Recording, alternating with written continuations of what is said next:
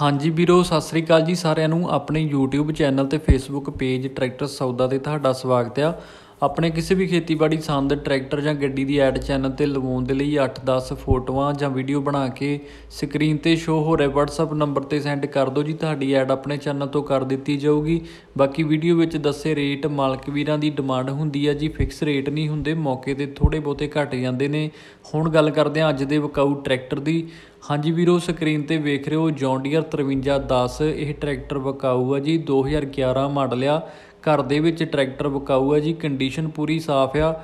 Engine gear lift pump ਦੀ full guarantee ਆ। ਖਰੀਦਣ ਸਮੇਂ ਚੰਗੀ ਤਰ੍ਹਾਂ ਚਲਾ ਕੇ, ਵਾਹ ਕੇ ਚੈੱਕ ਕਰ ਸਕਦੇ ਹੋ। ਪਾਵਰ ਸਟੀਅਰਿੰਗ ਦੇ ਨਾਲ ਆ, ਬਾਕੀ ਟਾਇਰਾਂ ਦੀ ਕੰਡੀਸ਼ਨ ਦੀ ਗੱਲ ਕਰੀਏ ਤਾਂ ਮੂਹਰਲੇ 40 ਪੈਸੇ ਨੇ ਤੇ ਮਗਰਲੇ 70 ਪੈਸੇ ਨੇ।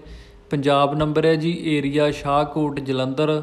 First owner ਆ ਡਿਮਾਂਡ 5 ਲੱਖ 10 ਹਜ਼ਾਰ ਦੀ ਮੌਕੇ ਤੇ ਮਾਨਤਨ ਕੀਤਾ ਜਾਊਗਾ। ਨੰਬਰ ਵੀਰ ਦਾ ਨੋਟ ਕਰ ਲਓ 8146622390 8146622390 ਇਸ ਨੰਬਰ ਤੇ ਵੀਰ ਨਾਲ ਫੋਨ ਤੇ ਗੱਲਬਾਤ ਕਰਕੇ ਟਰੈਕਟਰ ਬਾਰੇ ਜ਼ਿਆਦਾ ਜਾਣਕਾਰੀ ਲੈ ਸਕਦੇ ਹੋ, ਜਾ ਕੇ ਇਸ ਨੂੰ ਵੇਖ ਸਕਦੇ ਹੋ, ਖਰੀਦ ਸਕਦੇ ਹੋ। ਅੱਜ ਦੀ ਵੀਡੀਓ ਵਧੀਆ ਲੱਗੀ ਤਾਂ ਵੀਡੀਓ ਨੂੰ ਲਾਈਕ ਕਰੋ, ਸ਼ੇਅਰ ਕਰੋ ਤੇ ਚੈਨਲ ਨੂੰ ਸਬਸਕ੍ਰਾਈਬ ਜ਼ਰੂਰ ਕਰੋ।